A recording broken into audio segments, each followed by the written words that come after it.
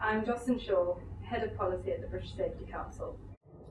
I'm sitting with two managers who have helped play their part in the delivery of the London 2012 project to talk to them about their experiences and insight from an environmental perspective. I think uh, there's, there's a, the world is at a changing point, quite literally at the moment. And if we don't do anything about it, it's only going to uh, become worse.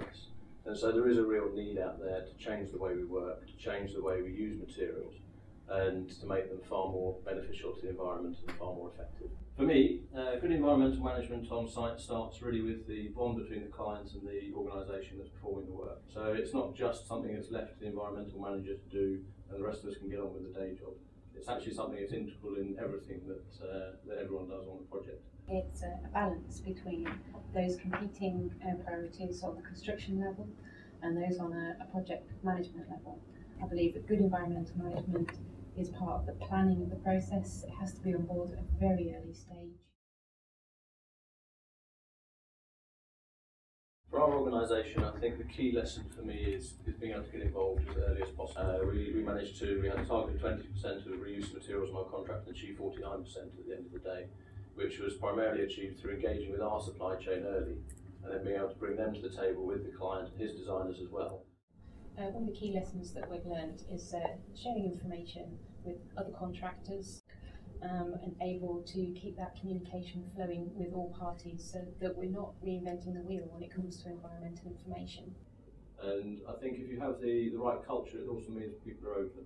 Uh, particularly for us with environment, it's, it's essential that we increase just the awareness to start with, certainly at the beginning of the programme, and that revolves around reporting near misses, making sure that people are constantly keeping their eyes open out on site. We could then act on those, explain to the people why we'd acted and how we'd acted, and that just started to develop the conversation between the workforce, the supply chain, uh, our management team, engineers. The biggest legacy we can leave is really addressing the challenge that we have in changing specifications. Our specifications have been tried and tested over a huge number of years uh, actually invest in research and development and understand how we can change our specifications to embed what we know is some really good practice, but we're just struggling to uh, use throughout the industry. I don't think the Olympics needs to be unique.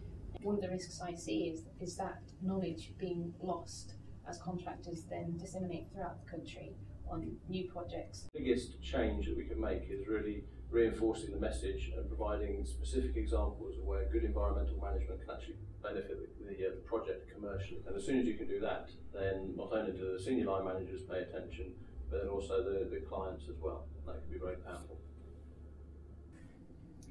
I'd like to say thank you to both Kirsty and to Thomas for taking time to talk with us and share their experiences and lessons learned from the London 2012